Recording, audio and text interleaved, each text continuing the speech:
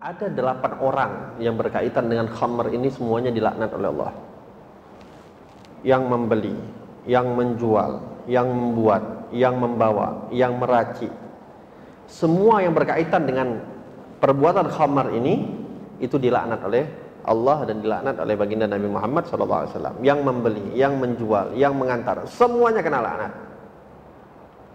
Nah, lah lalu bagaimana kalau ada pekerjaan semisal tukang ojek? Yang mana dia mereka cuman menjalankan pekerjaan.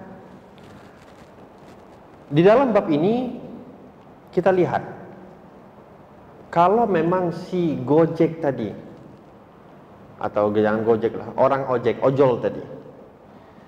Dia uh, tidak tahu siapa pembelinya, apakah muslim atau tidak.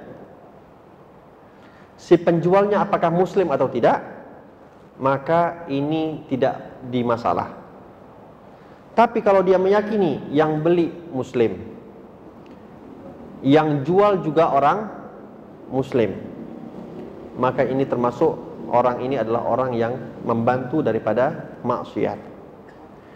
Yang pertama, yang kedua dia tidak meyakini alkohol itu digunakan untuk apa? Bisa jadi alkohol itu dia beli mungkin untuk cuci bajunya, cuci baju pakai alkohol kadang-kadang katanya lebih bersih atau dia pakai untuk hal-hal yang lain. Ini boleh.